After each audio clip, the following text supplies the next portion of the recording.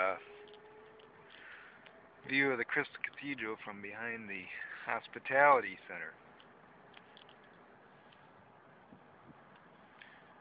Despite bankruptcy, everything is going uh, pretty much as normal here.